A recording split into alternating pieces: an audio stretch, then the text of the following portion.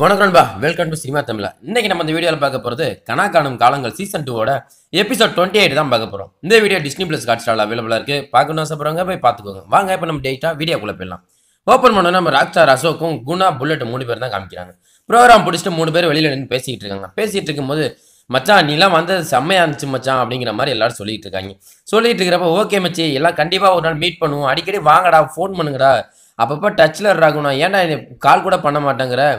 நான் எப்போவும் வீட்டில் தாண்டா இருப்பேன். நீ எப்போ வேணா வாடா அப்படிங்கிற மாதிரி சொல்கிறாப்புல சொன்னோன்னே ஓகே மச்சான் அப்படின்னு சொல்லிட்டு சரி மச்சான் நீ வந்தது உண்மையில ரொம்ப தேங்க்ஸ் மச்சான். நல்லா இருந்துச்சு அப்படின்னு சொல்லிட்டு அப்படியே கிளம்புறாங்க. கிளம்பி போகும்போது பசங்க சரி மலர் எல்லாத்தையும் மீட் பண்ணுறாரு ராக்ஸ்டார் அசோக்குமார்.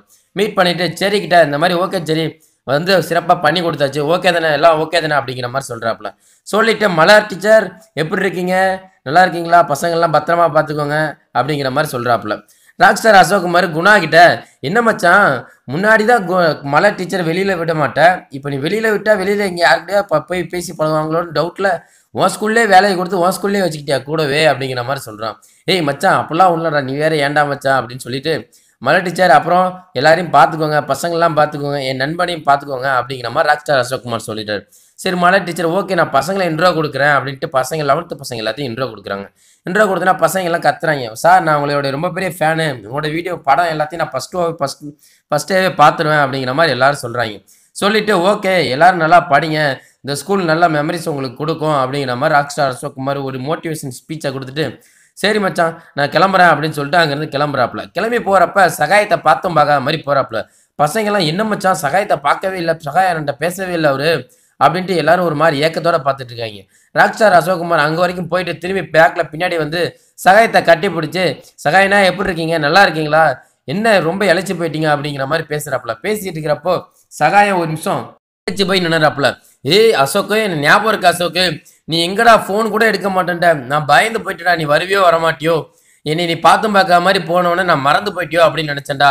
அப்படிங்கிற மாதிரி சகாயனை சொல்றாப்புல. அதுக்கு ராக்ஸ்டார் அசோக்குமார் அப்படிலாம் நான் போனானே எனக்கு இந்த ஸ்கூலில் ரொம்ப பிடிச்ச ஆளே நீதானே. நான் ஸ்கூலுக்குள்ளே உள்ளே வந்தாலும் வெளியில் போனாலும் முதல்ல பார்க்குற ஆளு நம்ம சகாயனன் தான் அந்த ஃப்ரெண்ட் தம்பிகளா அப்படிங்கிற மாதிரி பசங்க எல்லாத்துட்டையும் சொல்லிட்டு இருக்காரு.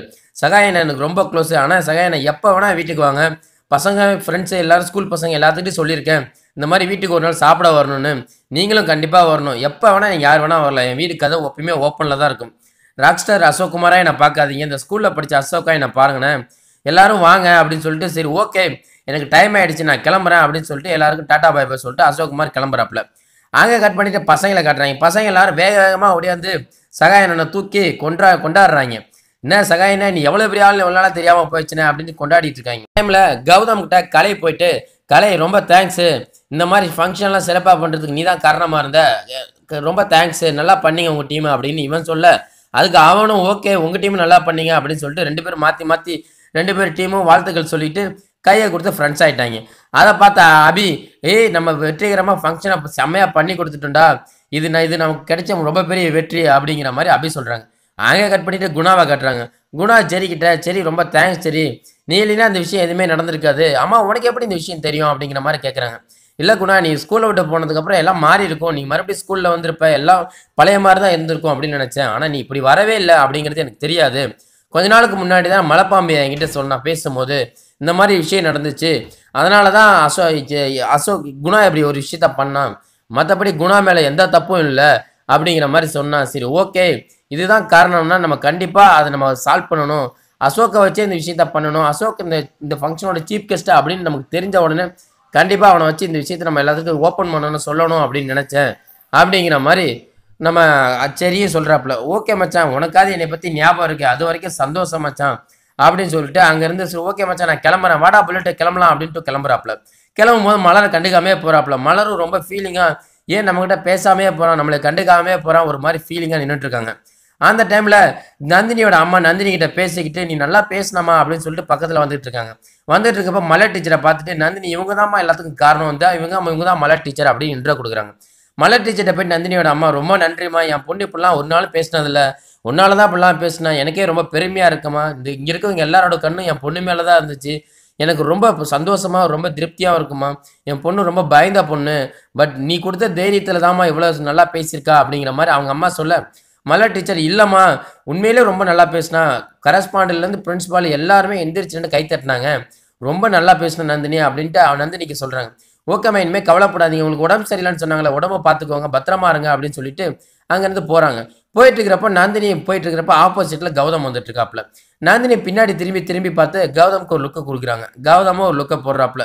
ஓகே இல்லை சிக்னல் வந்துருச்சு போல அப்படின்ட்டு ச- கௌதம் சந்தோஷத்தில் துள்ளி குதிச்சு ஓடுறாப்புல. அங்கே கட் பண்ணிட்டு அடுத்த நாள் காலையில் பசங்க எல்லாரும் ஸ்கூலில் வந்து உட்காந்துருக்காங்க என்ன மச்சான் க ஃபங்க்ஷன் இவ்வளோ சிறப்பாக முடிஞ்சு அடுத்த நாள் லீவ் கொடுப்பாங்கன்னு பார்த்தா அடுத்த நாளே ஸ்கூலை ஓப்பன் பண்ணிட்டாங்க. எப்படி மச்சான்? இதுக்கப்புறம் படிப்பு அப்படி இப்படின்னு போட்டு தாளிச்சு எடுத்துருவாங்களே என்ன பண்ண போகிறோமோ அப்படின்னு சொல்லி பசங்க எல்லாரும் ஒரு மாதிரி சி ஷேடாக ஃபீலிங்ஸாக உட்காந்து பேசிக்கிட்டு இருக்காங்க. பேசிக்கிட்டு இருக்கிறப்ப செரியும் மலரும் உள்ளே வராங்க.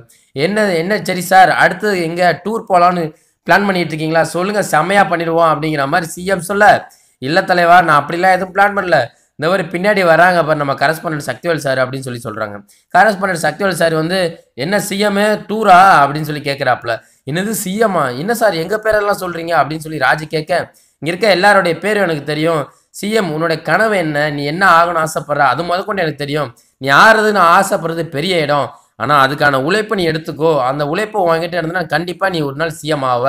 அப்படின்னு சொல்லி பேசிட்டு நந்தினியை கூப்பிட்டு நந்தினி நீ நான் ரொம்ப நல்லா பேசினமா ரொம்ப நல்லா இருந்துச்சு. நீங்கள் எல்லாருமே ரொம்ப ஒற்றுமையாக ஒரு இந்த விஷயத்தை பண்ணி கொடுத்தீங்க.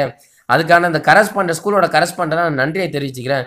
இந்த சி- இந்த விழா ரொம்ப சிறப்பாகவும் ரொம்ப நீட்டாகவும் பண்ணி கொடுத்தீங்க. இந்த விழா பண்ணி கொடுத்தது போதும். இதுக்கப்புறம் நீங்கள் படிப்பில் கான்சன்ட்ரேஷன் பண்ணணும். ஏன்னா இது இவ்வளோ நாள் நீங்கள் படிப்பில் எதுவுமே நீங்கள் கண்டுக்காமல் கொஞ்ச நாளாக இந்த விழா க- விழா சிறப்பிக்கிறதுக்காகவே ரொம்ப ஹார்ட் ஒர்க் பண்ணியிருக்கீங்க படிப்பை நீங்கள் தள்ளி வச்சிட்டீங்க. நிறையா சாப்டர்லாம் இருக்குது அதெல்லாம் முடிக்கணும். ஸோ இதுக்கப்புறம் கண்டினியூவாக ஸ்கூல் நடக்கும். கரெக்டாக கிளாஸ் எல்லாரும் அட்டன் பண்ணுங்க அப்படின்னு சொல்லிட்டு சரி ஓகே நான் கிளம்புறேன் அப்படின்னு சொல்லிட்டு கரஸ்பாண்டன்ட் சக்திவேல் சார் உள்ளே போகிறார் உள்ளே போகும்போது அங்கேருந்து வெளியே வெளியிலேருந்து கேட்லேருந்து ஒரு கார் என்ட்ரி கொடுக்குது மாசா.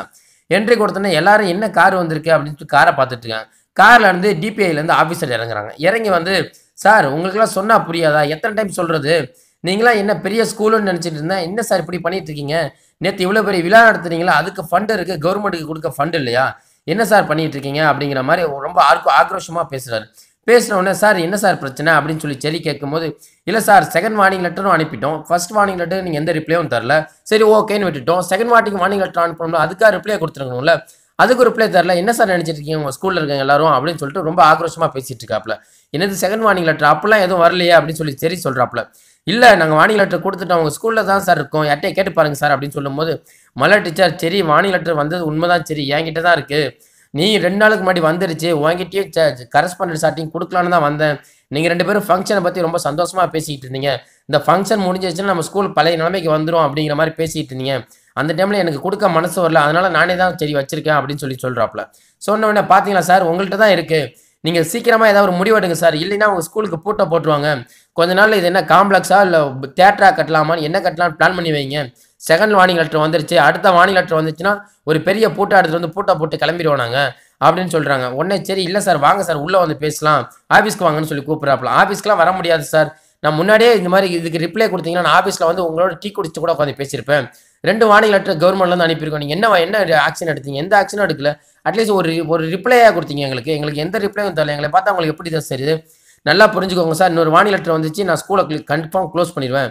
அதுக்கப்புறம் நீங்கள் என்ன பண்ணாலும் உங்க உங்களால் ஸ்கூல் ரீஓப்பன் பண்ண முடியாது அப்படின்னு தெரிஞ்சுக்கோங்க அப்படின்னு சொல்லிட்டு கவர்மெண்ட் ஆஃபீஸர் கிளம்பி போகிறாப்புல இதெல்லாத்தையும் கேட்டுட்டு சத்யவால் சார் ஒரு ஓரமாக போய் சோகமாக உட்காராப்புல உட்காந்து என்ன பண்ணுறேன்னு தெரியாமல் யோசிச்சுட்டு இருக்காப்புல. அந்த டைமில் செரியும் மலர் ரெண்டு பேரும் போகிறாங்க சார் சாரி சார் நான் தெரியாமல் தான் பண்ணேன். நீங்கள் ரொம்ப சந்தோஷமாக இருந்தீங்க. இந்த டைமில் இந்த விஷயத்த சொல்ல வேணாம்.